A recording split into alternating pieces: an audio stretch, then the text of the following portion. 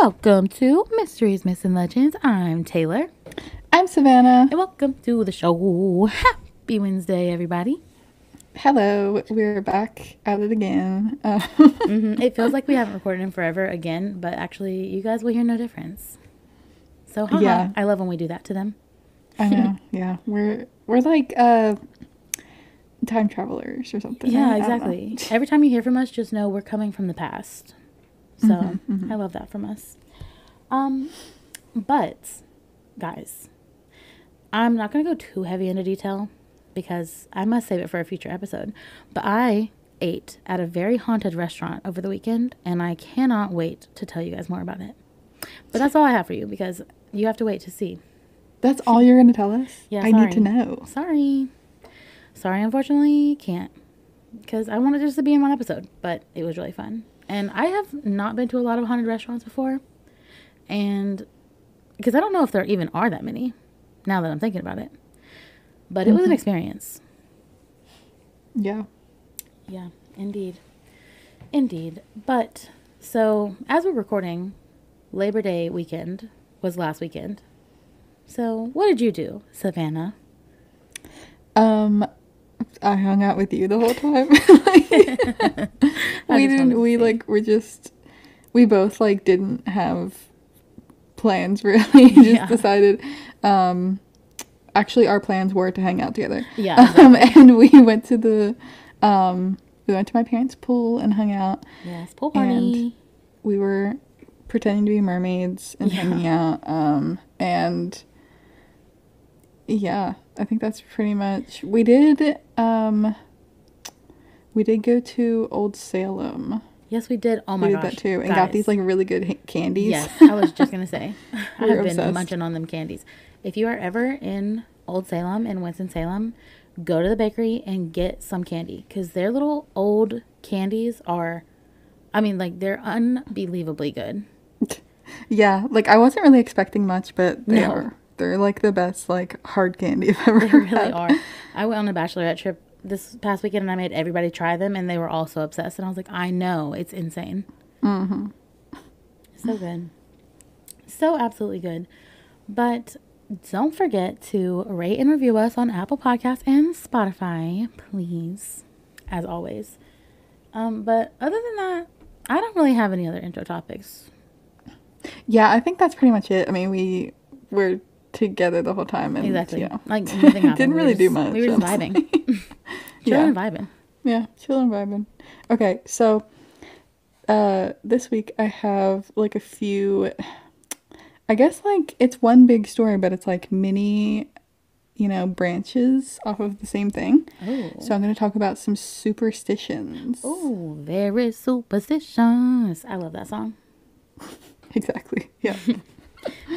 Uh so these are gonna be actually southern superstitions Oh, to be specific. Mm-hmm. yeehaw, baby. Going to the south. Yeah, exactly. Uh so since you, you know, you grew up here in the South and I did not. So as we go along on some of these, I'm just going to ask like have you heard about them before, you know? Ooh, yes. I'm excited. So the first one is about painting your porch ceiling. Hmm. Do you know something about this? No, and I can confirm. Well, I mean, I do have a porch and a ceiling, and it is painted, but it's not painted specially. It's just Okay, white. what regular. color? Oh, it's just white. Okay. Well, there is a superstition that you should paint your porch ceiling a specific color of blue, What? and it's it's called haint blue. Interesting. And um, in like southern states, it's I think it's a lot more in South Carolina and Georgia. Uh, they paint their ceilings uh, this blue color, and you know, you said yours is white. Mine's also white, so we are not really Yeah, following this. We're but so I said haint blue. Do you know what a haint is? Absolutely not. It sounds like you're trying to say like it ain't. But I don't but know. yeah, I don't know. Um, I I guess it kind of I don't know. Let, let me just let me just tell you where it comes from. So it it means an angry spirit, Oh, okay. like angry spirits that are stuck between worlds. Oh, okay. and it actually comes from um uh, like years and years ago um when african americans came to you know were shipped across the ocean as you know ins- to be enslaved which is mm-hmm. awful. You know their culture definitely mixed in with the south a lot. So this word comes from their culture a little bit. It oh. comes from the word haunt. Oh, okay. Because I was kind of gonna say it does kind of sound like a really southern person saying haunt, but I didn't want to okay be wrong. yeah yeah. That then that's it. That's exactly it. Yeah. Uh and it also this idea of the color blue comes from gullah culture Oh, which is um african american culture um or i guess it's just african culture that came to america if that Yeah. makes sense uh from the low country region of south carolina and georgia Yes, I remember the um, Boo Hag story that I did was also Gullah. oh yeah yeah yeah I don't remember what episode that was, but it was I early. remember that. hmm Uh, so this blue color, there is a reason why they why they want it to be blue. Mm-hmm. Um, it mimics the color of the sky, uh, Oh, yeah. tricking ghosts into passing through, or it mimics the appearance of water, which ghosts can't cross. Yeah. So it basically just like keeps them away from the house. Okay, that actually does make sense. And that's also crazy. That's the second time recently we've heard that ghosts can't cross cross water. Because I also said it in the Bobby Mackey's Music World that they couldn't cross the water, and I was like, why have I never heard of that? And now you're saying it again, so maybe it's a fact. I- yeah, honestly, Interesting, Hmm. but it does make sense to trick them into thinking it's water in the sky. I can see how it could look like that. Yeah, it's like water. I think the main one is that um, they're tricking it into tricking them into thinking it's water, but another part of it is that they could think it's the sky. So it's like two different things, not like water in the sky, but like you know. Uh, okay, so the Gullah they would point paint their porches, uh, doors, window frames, and shutters with this color, and you know, the Gullah culture sort of mixed with Southern culture, Southern white culture, and this idea spread across the South. Um, and in more recent years, and not as many people kind of believe in this superstition, but they'll still paint their porch this color to keep bugs away. Oh, what? So, Does that work? well, it is used as sort of like a spider and wasp deterrent, but it's not it's not necessarily like scientifically shown to work, but it could work due to the fact that like there's um if you use a certain paint that contains lye in it, it will keep the insects away. Okay, well So- that does make sense. Yeah, so like it it so kind yes of yes and no. What, yeah, exactly. Yes and no. So yeah, if you um if you go down to like South Carolina, Georgia and see a bunch of blue porches, then that's why. Okay, so Keep the ghosts out. over the past weekend, I was in Charleston, South Carolina, and I didn't think anything of it because every house in Charleston is a different color, but there are a lot of blue houses, specifically yeah. with blue porches there. Mm-hmm. So now that makes more sense, but I just thought it was because everything is colorful there. Yeah. So Yeah, wow. so that's interesting the whole entire house. It's like they're really trying to take the, well, not even the whole entire away. house. Like, I mean, the whole entire house is painted. Some of them were blue, but sometimes just the porches were blue. Or it was like if yeah. the house was blue, the porch would be like a darker blue or a lighter blue. So that's interesting. Mm-hmm. Yeah, see the haint blue color, uh it's like a really light blue, Oh yeah. like sky blue color. So nice. So if you saw those, that's what it is. okay, so the next little superstition I have is that you should cover the mirrors and stop the clock when someone dies. Yeah, I've definitely heard of that one. Oh yeah, Mm-hmm. does your family practice it? No, no, no. They don't practice it, but I have heard of that one before. I know I don't know people who do it, but I've like heard of the legend in the South. Yeah. So this one, um, this one actually comes from. Uh, it has some Jewish origin in it, so we'll get to that. Uh, but the southern superstition of covering mirrors after someone passes, it is to like prevent the deceased spirit from becoming trapped in the glass. Um, because like when they see their reflection, they'll just the spirit will get into the glass and like get trapped in the mirror. Um, and then there's also um like people would cover the mirrors to hide the mourn the people mourning from seeing themselves during a time of grieving. And it sort of like allows them to grieve fully. Um so it's sort of for the spirit and for the people their loved ones as well. And this idea of like covering the mirrors for the mourners is um it sort of has like a it has a Jewish origin, like I said, um, with sitting Shiva. Um, and I don't totally know, you know, everything about this, but in short, Shiva is a week long mourning period um, after the deceased is buried. Then close family, like parents, siblings, their spouse, their children, um, they all have like a time where they um, discuss their loss and they, you know, accept the comfort of others, but they all have to remain at home for this whole week long period, and their mirrors inside their house are covered. So, um, this is a, you know, something that the Jewish people do, um, and it was adopted by some Southern people for, you know, similar reasons. No, that's really cool. I've heard of it for like the ghost spirits like being trapped, but I've never heard of it for the people mourning those who died. So that's cool. Yeah. Uh, so there there is another, um, like sort of reason why you would want to cover a mirror. So if a soul of the departed was meant for hell, um, it could seek out a mirror to try to escape. Yikes. That- That's a big yikes. Yeah, but I guess you know you don't really want. You're like even if you're going to hell, like I'm sorry, you gotta go. So they still cover the mirrors just to get them to pass over. Yeah.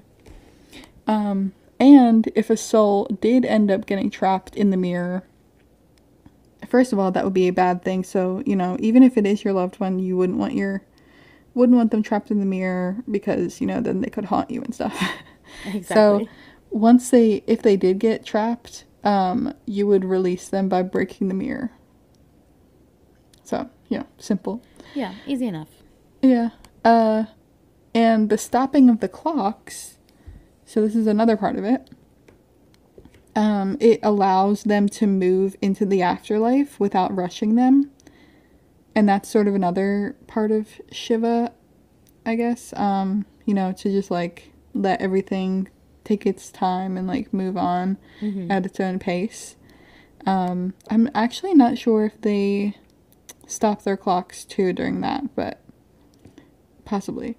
Um, it also stopping the clocks. It also just marks the time of death, so that might be why it's a, you know, a superstition. Like it, people just got into the habit of doing it, and then, um, you know, now it's bad luck if you don't do it. Yeah, that makes sense.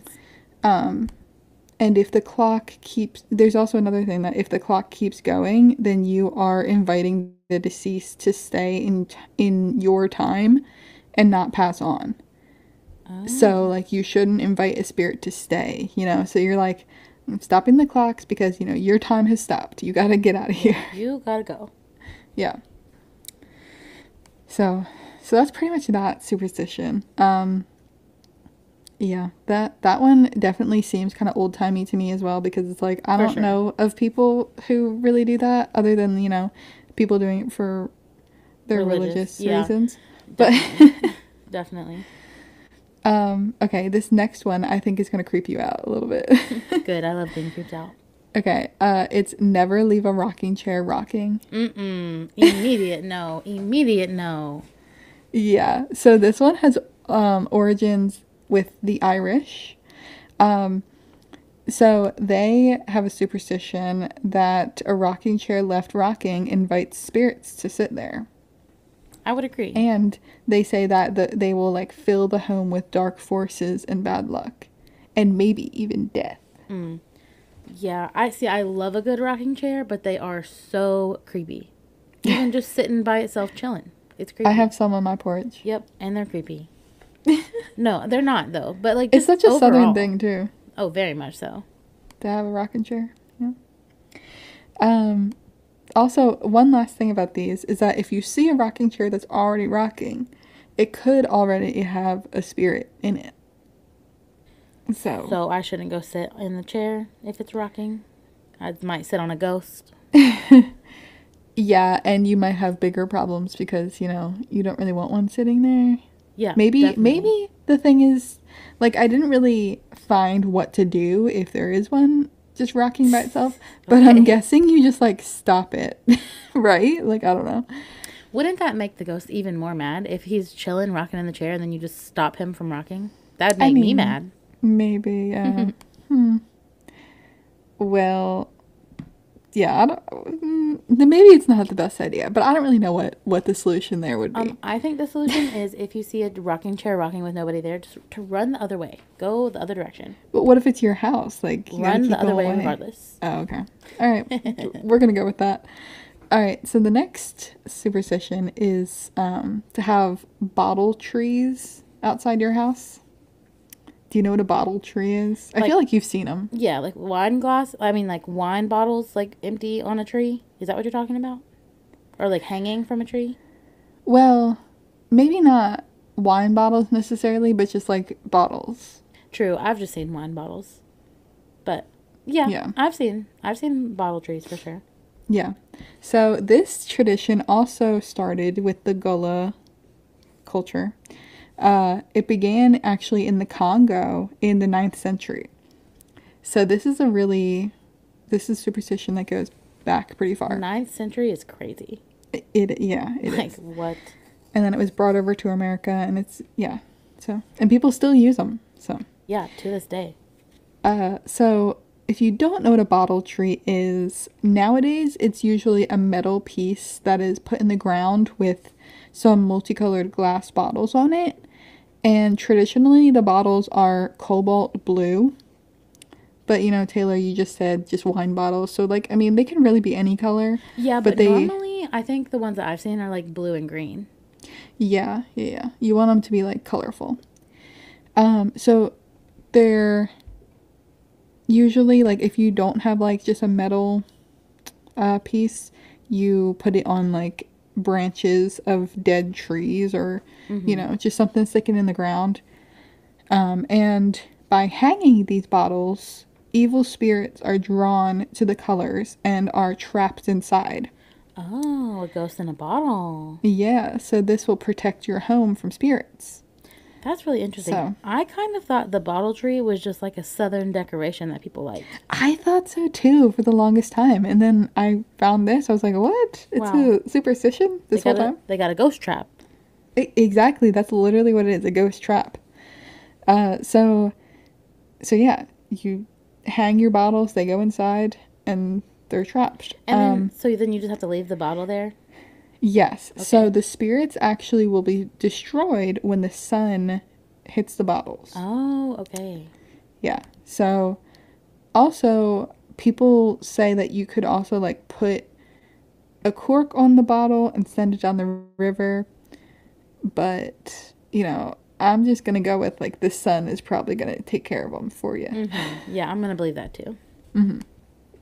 Um and another um a, a way to like find out if there's any ghosts in your bottles um is that if one of the bottles hums when like the wind blows, then there's a spirit trapped inside. Oh, okay. That is actually interesting. Because you know how haunting it is when you hear like a deep blowing like of a bottle. Yes. Creepy. It's But- just trying to scream to it's screaming to get out. Yeah, it's like help me.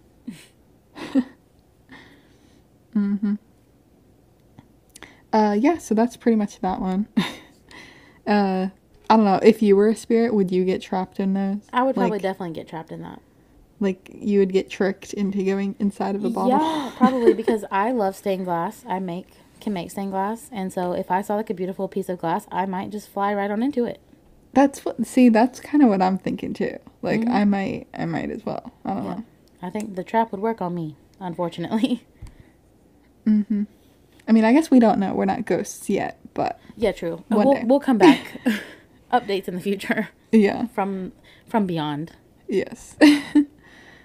uh yeah, we'll find another person's podcast to like go and haunt and they can tell our story. Yeah. Or how about we be the first ghost podcast made by Oh actual gosh. ghosts yes. from the other side? Writing this down in my notes. Yeah. no, for real. okay. Stay tuned, guys. Yeah, stay tuned. So the next one I have is that you should not. Okay, okay. Actually, let me ask you a question. What is the number? There, there's a certain number of people that you should not sit at your dinner table. Like that it's oh, unlucky to have okay. this amount of people. Okay. I definitely should know this. Have definitely heard this before. And I just feel like what I'm about to say is not right. But I'm just going to go ahead and say seven. No, it is 13. Okay, well, I thought it was 13, but that just was too obvious. Yeah, I guess so. I see. I didn't see anything about seven people at your table. That is also sort of an unlucky number. Yeah. You know. Mm-hmm. But thirteen definitely Most people definitely. say it's an unlucky number all the time. So that's that's a big part of it that it's just unlucky. Mm-hmm. Um, and the reason you wouldn't want to sit thirteen people at your table is that it means that one person will die within a year of having the meal. Oh, my One one of the people Oh sitting my there. God. That's horrible. And this actually ties back to the Bible. what? Okay, I that's interesting. Yeah, Are we talking about the the dinner, the Last Supper? the Last Supper? Yeah. Why could I not think of The what that was dinner. called? The dinner. yes, the Last Supper. Uh, yeah, because there were thirteen people at that Mm-hmm. at that dinner. Yeah. And one fell. Yes, so Jesus and his twelve apostles. Um, this and then you know. The next day, right? Um, he was betrayed Judas. and Somebody died. Judas by Lady Gaga. Yeah. Uh, and because of this connection back to the Bible, uh, people say that it will be the youngest person at the table who will die. Oh, because. Jesus was the youngest at the Last Supper. Oh, interesting. You know, I don't even know if I knew that. You know, I don't know if I did either. I don't Wow. really know. I don't know the details of the Bible, so. Yeah, same. But wow. Um, yeah, so I guess he was the youngest. So if you have 13 people sat at your dinner table, the youngest one will die within the year. Yikes. So- I mean, as long as you make sure somebody is younger than you, I think you're good. I mean, Well, somebody there's won't that, be. But, But, also, like, maybe just invite one more person or something. true. But I'm imagining like you invite 20 people and then only 13 show up. Then what do you do? Oh. Kick somebody out? That's mean. What if you just have two tables? I mean, is that how it works? I mean, it says don't seat 13 people at the table, so you can have multiple tables. Okay, well, okay, good. Glad we found a little way through that one. Yeah, I think I think that's a good way around it. Yeah. Because like yeah, like a gathering of 13 people, that's probably fine. It's just Yeah, probably. don't don't all sit at the I same mean, I guess we could try. Try it. Yeah. Do we know 13 people? Um, definitely. Yeah. Um anyways. So the last one that I have here is a wedding tradition. Oh, okay. I have a bunch of weddings coming up, so I'm excited to hear about this one. Yeah, so I'm I'm wondering since you've been to a few weddings, you have some coming up, if you know this tradition, if any of your friends have done this. Um it has to do with bur- burying something um a month before the wedding. Do you know? Oh no, Okay. No. absolutely not. Okay. So you're supposed to bury a bottle of bourbon a month before your wedding. Okay, getting lit off some ground bourbon. Yeah, honestly. So you're supposed to visit your um the, like the site of your wedding exactly a month before the wedding. And then bury it at the site um like at the site of the ceremony like right where you're supposed to get married and bury it upside down. Um, and this will ensure that no rain that like that there will be no rain on your wedding day. Wow, that was not what I was expecting. I also think that the venues might have issues with that. Yeah, actually I saw um this tradition on one of the venue websites, but like cuz like when I was looking it up there was like a few venues that were mentioning it, but I'm like mm-hmm. I don't know if they're allowing I mean, if they're going to put it on their website, they got to allow it. Right. Right? right. I would say so. But then again, I'm thinking of like, what if your wedding is indoors? Like, you can't necessarily dig a Yeah. hole under a building. There's that too. See, cuz I've only I've I mean, I've been to a lot of weddings that were outside, so I didn't even really consider the inside True. ones. Also, I wasn't even thinking because, like, I guess it wouldn't matter if you were inside if it's raining or not. oh, that's true. Yeah, yeah. So that Yeah, makes we're- sense. see, we're smart. We both. Yeah. I didn't even think of that either. Okay, so so yeah, basically you'll get the best possible weather if you do this, supposedly, um, and there are a few other rules that the bottle can't be opened, so it has to be full when you bury it, and you should also like splurge on a like a, an expensive bottle. You can't just get the cheap oh, one. Oh, Okay. Yeah. And then on your wedding day, you dig it up and drink some. you know? That part, I really, I like that. Yeah. Yeah. And I mean, I like no one thing. no one really knows the origins of this one, but it's just something that people do. Wow. Okay. I thought I really thought you were going to tell me some exquisite story of like how it worked or something. Like it would feed the earth or something. And you're like, no, just for fun.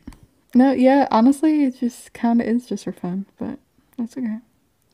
Um, sometimes superstitions, that's just, they just come out of nowhere and you gotta sure. just go with it because sometimes they work. Exactly. Yeah. Maybe we need to try this one, or like maybe I'll tell my friends who are getting married soon. You know. Yeah, if, if anybody has a month to go, or Yeah, like they more do. than a month to go, you have to do it exactly a month before. So, Yeah. I just feel like the venues are not going to be happy with them if yeah. they do that. But you know, Well, we'll see. yeah. So, so that's the last superstition I had. Um, yeah, I honestly, I'm not really that big of a superstitious person, but I might get a bottle tree just because they seem pretty, you know? Yeah. I mean, like they're cute and they catch ghosts. Uh, Say less, honestly. You know. Yeah. Mm-hmm. I really like those.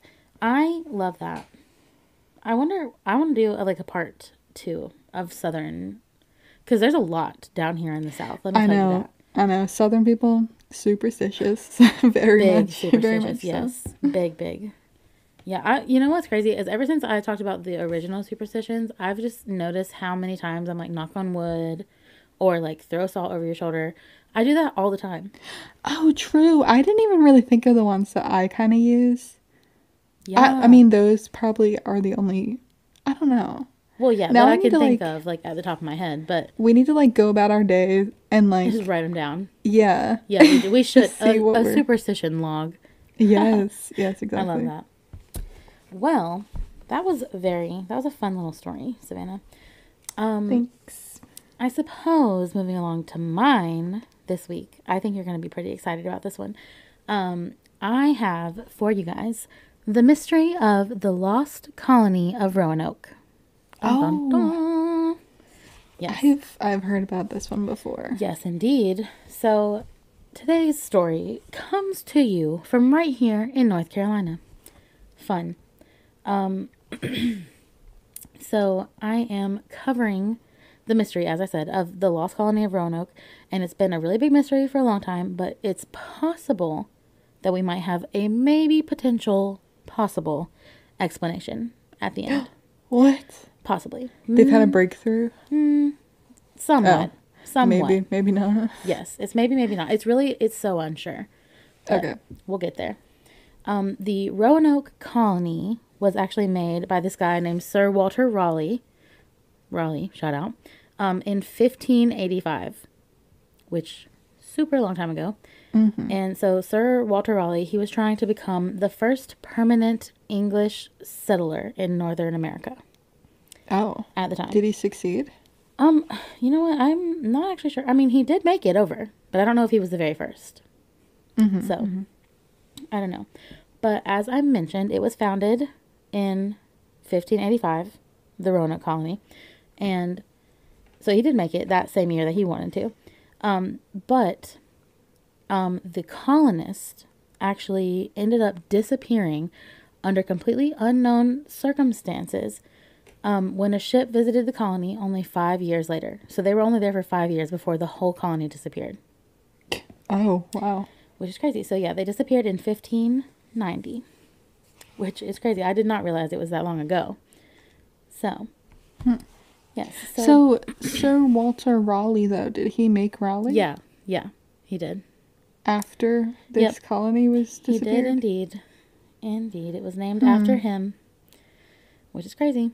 Well, okay. So he was still alive after it was. Okay, Okay. yeah, I so- think I think we're getting ahead of ourselves. I'm Yes. sorry. Yes. But yes, yes. But yes, he what he did. He was the only one that made it out. So oh, okay. Mm-hmm. Sorry. I, I feel like okay. I spoiled that. no, it's but okay. No, you didn't. Not at all. Um, Okay. But before that, just backing it up a little bit, Roanoke Island is located in the Outer Banks of North Carolina today. It's in Dare County, and I actually have been there to Roanoke Island. Um, it's today it's Hatteras Island, so fun. And they do have a um, Roanoke museum, but I have not been there. But I do plan on going the next time I go. So, anyways, starting the story at the very beginning, in August of 1587, a group of 115 English settlers arrived in North Carolina, what is today, which is so crazy. I feel like because I also Yeah. always kind of thought when I was growing up that the Roanoke colony was from Roanoke, Virginia. Mm. And I don't know. I mean, I guess it makes sense, but because I didn't, because I was like, "There's no Roanoke in North Carolina," but just Well, not, not anymore. anymore. You know? Do you think the Roanoke, Virginia, was named after this one? uh, yeah, I think it's probably like the same people, just like migrated up a little bit. Ah. Yeah. Mm-hmm. So, because I feel like the land like on Hatteras is not great for surviving. it's like a literal island in the middle of the yeah. ocean. Yeah. So that's, I mean, I don't actually know if that's 100% true, but that's my assumption that they just migrated up a little bit because Roanoke's not that far Yeah. from there. But, anyways, they, um, so the 115 sellers got there in 1587, but they had actually all been there once before, two years prior to them moving. That's when they first found the place and they were like, oh, this looks like a great place to move to. Let's go. and then two years later, they made it happen. Okay, so they they went there, scoped it out, and Mm-hmm. then went back, and they got their stuff and Yep. came. Okay. Yep. They made a few plans. They were like, bye, guys, we're going. Gone forever, I guess. Got it. Um, so later that year, um, the governor of the new colony, and his name was John White, he sailed back to England in order to gather a fresh load of supplies. So John White, this guy, important to know, It's the most basic name I've ever heard. literally ever. It sounds so fake, but John White. back in the day, you know, he, he was probably the only John White, not I mean, not his prob- probably his dad, his grandpa, his uncle, everybody was probably named John White. but this guy's important. So he was like the governor, the leader of this new colony. So what actually happened was Sir Walter Raleigh, he did not actually like stay with these people. He just kind of planned it all out and then let them go. So then he made Okay. John White in charge of these people. oh, okay. Okay. Okay. So, you know, they were living there in North Carolina, thriving, doing whatever, and they needed some more supplies. So John White was like, "It's okay. I will sail the ship back to England and I'll gather some pli- some supplies and bring them back." So he did that, went by himself. Um, however, as the second he got back to England, this huge naval war broke out between England and Spain And Queen Elizabeth I called on every ship available to confront this big Spanish army. So John White obviously had to, and he went to assist England in the war. okay. Wow. I mean, he had to, right? Like, that's his I mean, queen. yeah. Yeah, he had to. He was like, forget about all those people I left in America. Yeah, like did he get word? I guess did he get word back to them? Like, no, uh, sure did not. Oh, so he just left them, abandoned them. hmm Yes. So in August of 1590, nearly three years later, okay, three years, I repeat, three years. Okay, okay, later, three years. That's a long time. John sailed back to Roanoke. where Okay, he had left he had left his wife and his daughter and his infant granddaughter. Okay. Uh-huh. Okay, so now fun fact. His infant granddaughter that he left there on that island was Virginia Dare, who was the first English child to be born in America. What? Mm-hmm. And Oh, wow. that's where the name Virginia, the state, came to as well because of her and stuff. So crazy. Um, Huh. That's awesome. I didn't even know that. I know. In It was crazy. Carolina. So crazy. Um, So- but also, okay, you keep saying three years is uh, like you're emphasizing it like it's a long time, and it is a long time. It is. How long does a ship like? How long does it take a ship to get from the UK to like North Carolina? That's a like, good point back in the ships 1500s. like yeah, like they're slow, like travel slow. but I can tell you it does not take three years. well, definitely not. Yeah, Like I would say probably a couple months. yeah, yeah. So they were probably expecting him back. What in like a year? I would say like a year max. And then, you know, of course he was in war, but like three, I feel like is a lot. Yeah, they were probably like he's never coming back. Yeah. They were like, he's gone. 100%. I would think the same thing. yeah. So Yeah. Um, so, when he got back, those three years later, his family, as well as the other 110 settlers that he brought with him, were nowhere to be found at all. He looked around everywhere, went as hard as he could, found hardly any trace of the colony or any people at all. like nothing. Okay, so he abandoned them, Yep. and then they abandoned They him. said, "Deuces." so Um, the only thing that he could find really was there was like two little clues that he found. Okay, one of them was the word Croatoan carved into a wood post where the town was set up at one point, and then he also found the letters C R O carved into a tree on the colony's border. And okay, so these two signs were the only evidence left behind, which is crazy. but then again, it was three years. So, you know, who knows how long they were gone up until that point. I mean, that is very true. Like What they could have left day one of him leaving. Yeah, yeah. Or they could have left a day before that, you know? Who knows? Hmm. Um, so, yeah, many investigations into the fate of the lost colony have occurred over the centuries and centuries that have passed since then, but no official 100% solid answer has ever been found.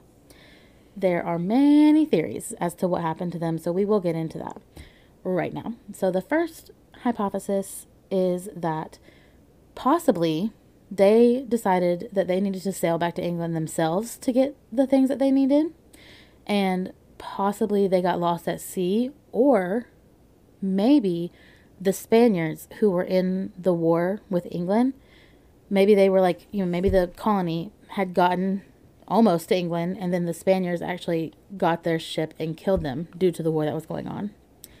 And so before doing any of this research, I actually never heard of that theory, but I think that's a pretty valid one, honestly.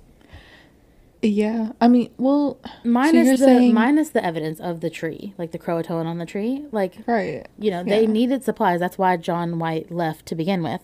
Right. And so maybe after, I don't know, a year or two, maybe even, they were like, okay, he's not coming back, but we still need these supplies and we can't get them anywhere but England. So let's just go there ourselves. And so maybe they either got lost at sea or the Spaniards got to them first and killed them. That is a solid point. But Mm-hmm. would the whole colony go? Well, see, that's where the fault lies. Who Yeah. knows? Probably not, because why wouldn't would they all go? Yeah, yeah. But Just also, some like, of them, right? Yeah, I would say probably just some of them, but they were mostly families and stuff. So maybe that, like nobody wanted to leave anybody behind. Who yeah, knows? I can see that too. I don't know. Hmm. I don't know. But yeah, those were theories that I had never really heard of before. But I was like, I mean, it that could make sense.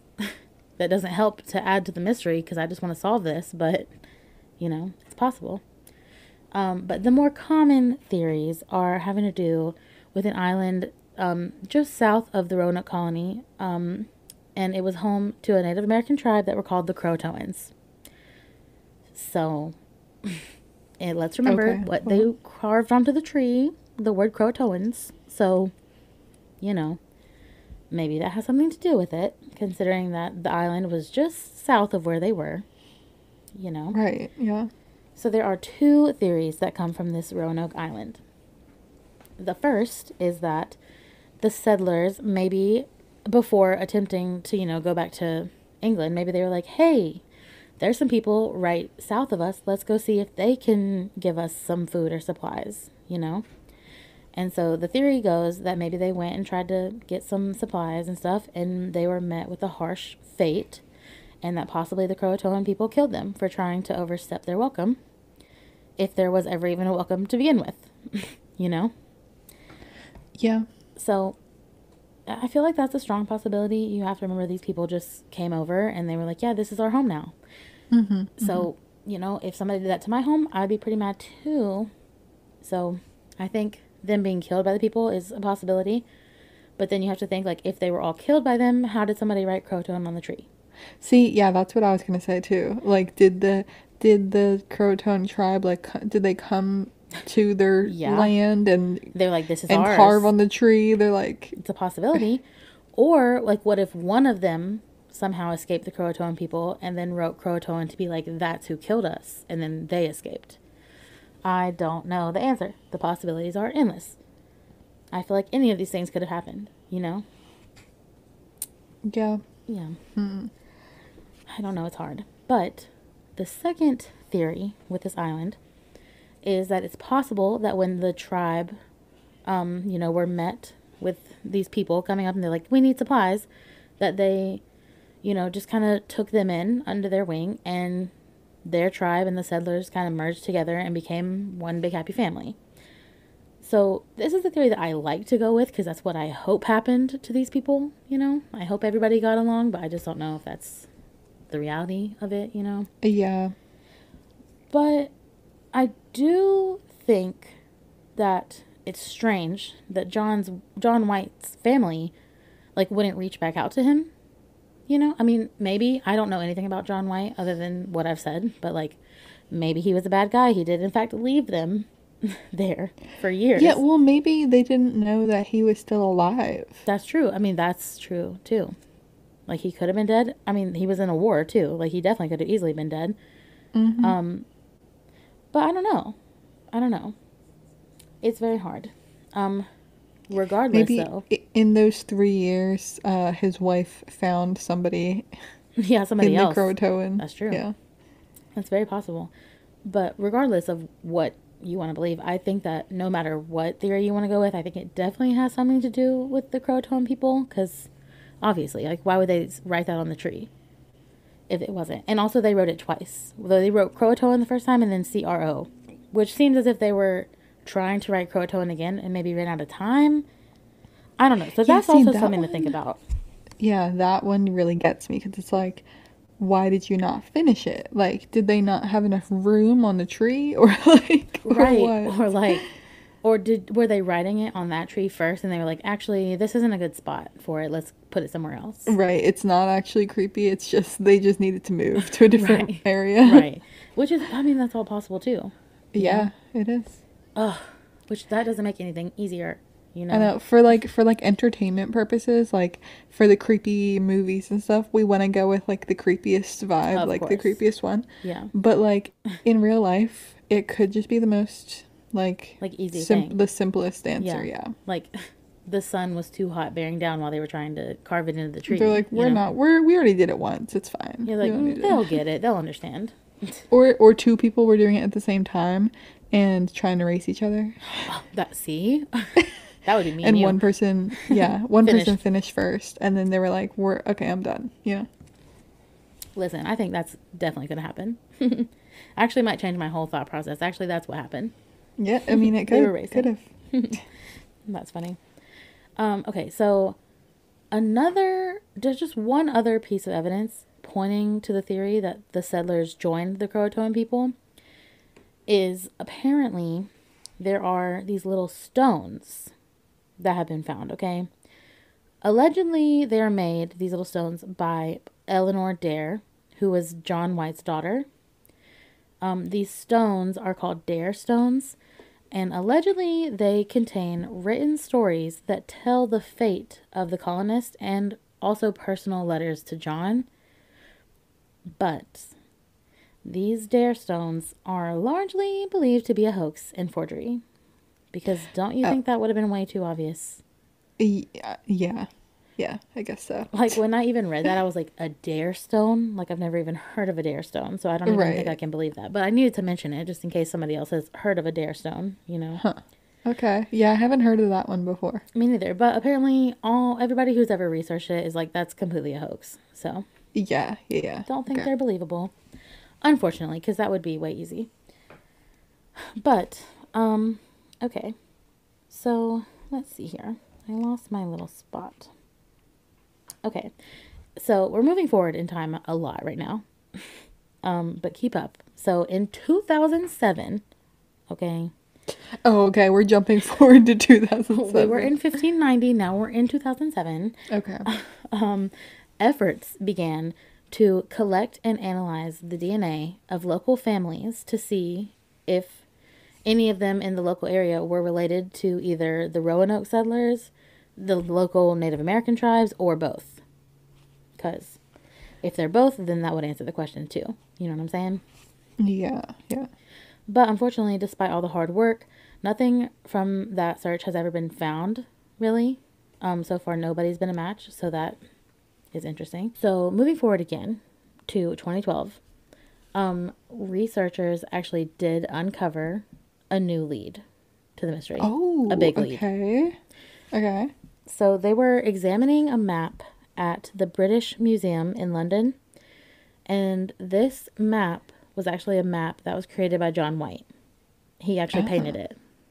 Um, so he painted uh, the map. It was the Elizabethan era United States, Okay. like before the United States were the United States.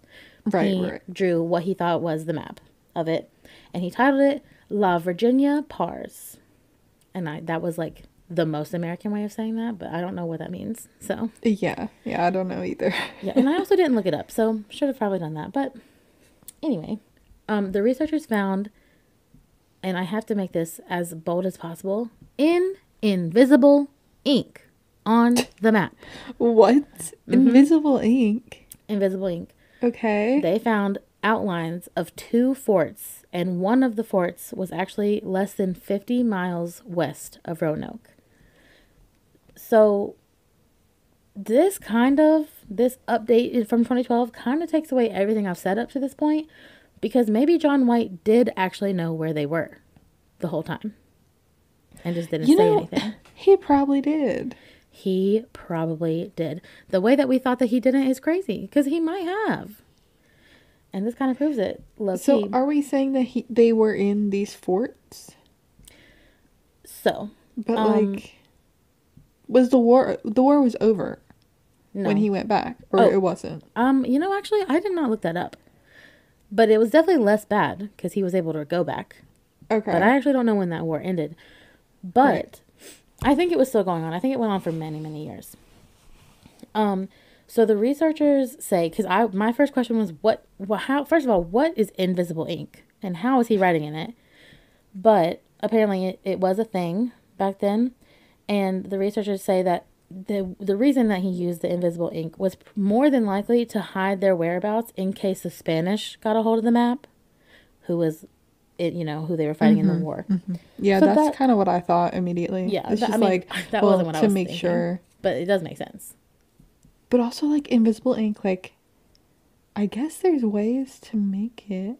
I don't even want to think about it. Yeah, just- I have literally no idea. I'm assuming Okay. instead of like invisible, I have to assume it's like disappearing ink made from like Well, some sort of something. Yeah, yeah. Not like the invisible ink we can buy from Five Below today, obviously. Oh yeah, like definitely something different, but Yeah, but that's crazy. Yeah.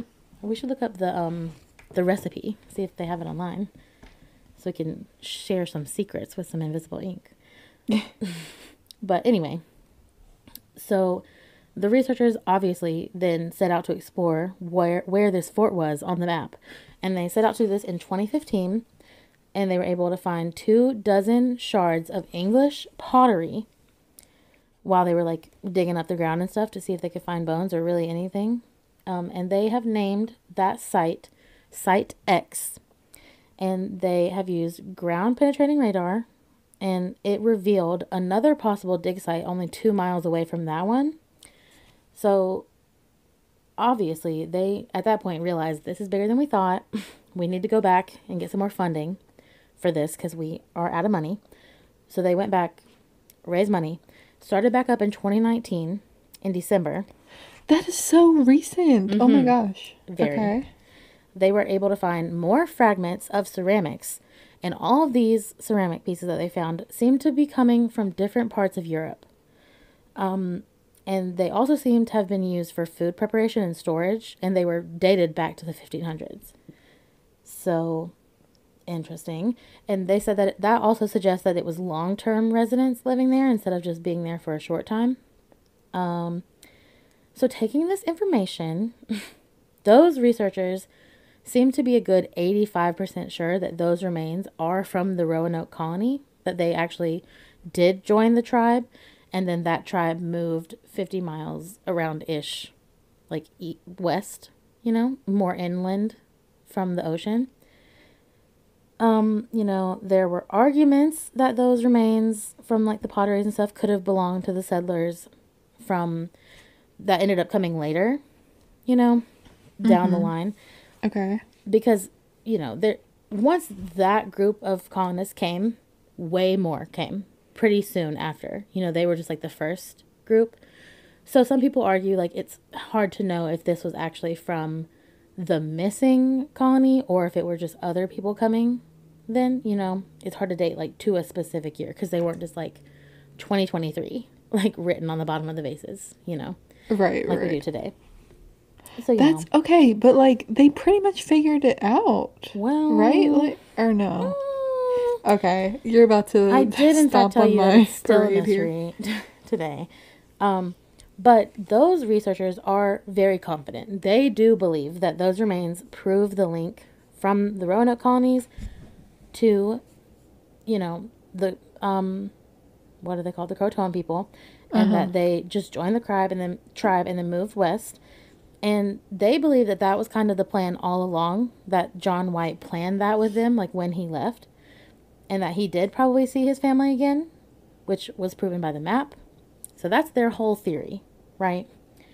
However, dun dun dun, in the saddest way possible, um, some people do not agree with this interpretation.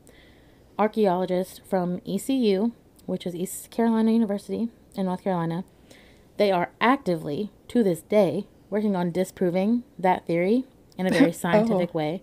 Oh.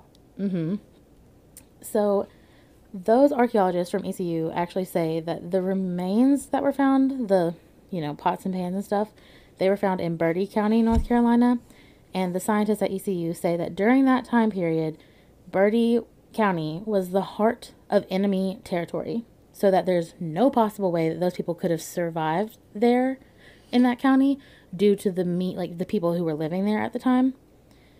Um, just because they were like not they were not allowing people to be there. So they're like um you know i don't think they would have made it. That's probably coming from the people who later came from the same place just at a later time.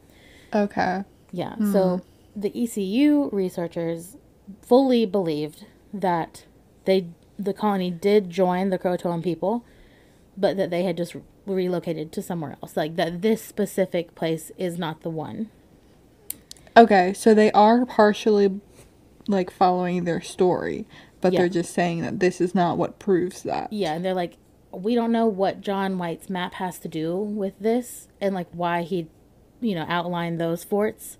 And like it's possible that he was just outlining the forts where people were going to go in the future, you know? Yeah. He didn't necessarily have to be saying that about the missing colony. You know, his life didn't just end when they went missing. He kept surviving and he was a leader. So who knows? Who knows? To this day, there is no definitive answer, but the archaeologists at ECU and many other scientists are still working to uncover this mystery. Obviously, people really want to know what happened. I kind of think it's pretty obvious. They wrote Croatoan on the tree. I think that they tried to join these people, and either they did or they got killed. you know, I kind of feel like that's the only two possibilities that happened. Yeah. But Yeah, I do. honestly, yeah. Oh, go ahead. I'm just imagining these people like they they just came over, you know, fresh off the boat from another country that was more way developed, you know, and this doesn't have anything what they're what they're used to at Yeah, all, right? definitely. And they have to um and and it's different wildlife and different Different everything. stuff. Yeah. So they probably don't know how to survive here. So, and then their leader leaves. Literally. and then they find this tribe who, this group of people who's like willing to help them. So I feel like that's what happened. But I don't know. Definitely. The only part of me that feels like it's weird is that like the DNA search that was going on around 2010 didn't show anybody sharing DNA to these people. Okay. So that I mean, it's possible they all just moved. You know, like Hatteras is Yeah. not a big place, yeah. so it's possible the people, the locals, are not the people who were descendants from the 1500s. I think that's not you know that big of a stretch, really, to say that. Okay. Because they tra- they track the ancestry of the people who still live in that area. Mm-hmm. Mm-hmm. Okay. But just yeah. like that was the 2010s. So what I was gonna say was I think that with all of the ancestry DNA stuff, like science that's coming out now, just even within the past two years, you know, it's upgraded so heavily. So I really think that we will come back with an answer one day. I really do. Probably one day soon. Because like people are starting to catch serial killers from somebody like a third, fourth cousin down the line doing an ancestry test, you know? Yeah. So, if these people did, in fact, survive and did not get killed by them, I think that it's possible that soon we might have DNA evidence linking them back to whatever happened. that is a long ways back. It is a long You ways know? back, but that's, you know, that's where the technology is heading towards. yeah. I mean So, that. I mean, we could awesome. cross our fingers and really hope because I need to know the answer. I know. I really I want to know what happened too. Like- because you know what everybody wants to have happened is that course. they like got destroyed by you know, That's not what by I this want. tribe. But that's what like people want for like the shock value of it. oh, for sure. For sure. It would make the movies better. But yeah, But- like the creepiness and like the way like oh my god, like it's carved on the tree. It's so creepy. Mm-hmm. But it's like I feel like that's just them showing where where they went, you know? Yeah, I do too. I really do too. But if you do want a really dramatized, scary version of this story, you can definitely watch season five or six, whatever, of American Horror Story, which is called American Horror Story Roanoke, which Oh, is fully about like the scary part of the story Yes. and like the scary like means of what it could be possibly. But yeah, that is the mystery of the lost colony of Roanoke, and I'm sorry that I don't have any answers. I wish I did. Yeah, I mean, it wouldn't be a mystery. Well, it still would be a mystery just to solve mystery. but Yeah. I really think, I really, really think we will fully know soon. I really do. Because they're still working so hard and they're just now finding out these things. Like 2019, that's so recent. You know? I have not Yeah. lost all hope yet. That's what I have to say. So, yeah. Okay, yeah. Yeah. So let us know. Well, I'll make a poll about what happened, but let us know your thoughts about what happened to these people because I want to know. But go check out our Instagram. We post pictures every week from our stories, and they'll be fun. I want to see some whatever. What is it? Haint blue Uh-huh. porch. That's what I want to see a picture of. So go check out our Instagram. And also don't forget to rate and review us on Spotify and Apple Podcasts, please. But other than that, I don't really have anything else for you guys. What about you, Savannah? I think that's it. Okay, well then I guess we will see you guys next week. Cue the music.